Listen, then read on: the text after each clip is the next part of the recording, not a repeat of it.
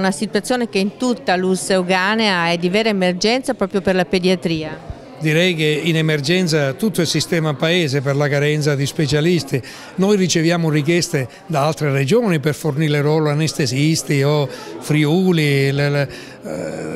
l'ultima in ordine di tempo è Friuli che ci chiede gli anestesisti. Allora non è un problema solo dell'ULS Euganea. In Euganea mancano 140 specialisti, di cui mancano 19 pediatri su una dotazione organica di 38, ma il problema riguarda gli anestesisti, i medici di pronto soccorso. Si stanno cercando e adottando soluzioni strutturali. È chiaro che in questa fase noi dobbiamo traghettare il sistema, mettere in garanzia, mettere in sicurezza la salute dei cittadini garantendo i servizi con soluzioni che sono soluzioni temporanee, transitorie e modelli che assicurano la sicurezza e la presa in carico dei pazienti. Per quanto riguarda invece l'emergenza complessiva, come vi state muovendo? Sappiamo che eh, a mese di agosto arrivano le cooperative, un po' in tutto il Veneto, anche a Padova che ha fatto molto scalpore. Beh, a Padova ha fatto molto scalpore, ma dico che il ricorso a queste forme di, di collaborazione eh, non è nuovo eh, perché mm, mi risulta che buona parte delle ULS, ma non solo del Veneto, facciano ricorso a queste forme di collaborazione con cooperative di medici.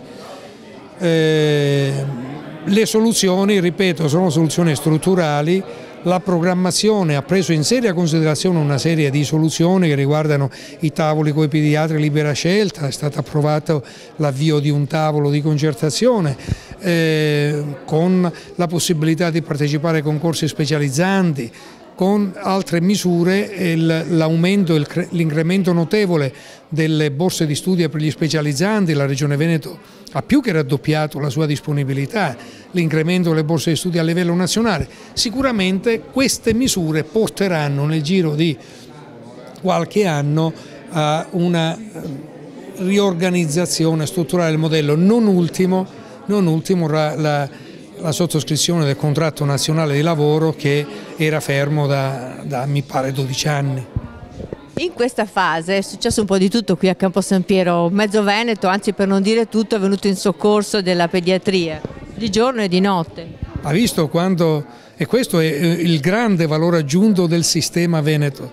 cioè c'è stato un livello di collaborazione, di cooperazione con le altre ULS che pur in casa propria avendo qualche problema, perché ripeto la carenza di risorse non riguarda solo l'Eugania, eppure, eppure hanno dato tutto quello che potevano dare, in particolare la ULS 3 di Vicenza, l'azienda ospedaliera di Verona, la ULS Pedemontana, solo che ovviamente in pieno periodo estivo questa disponibilità si è ridotta sempre più al lumicino, abbiamo dovuto ricorrere a una soluzione organizzativa che è il modello proposto e approvato dalla Giunta.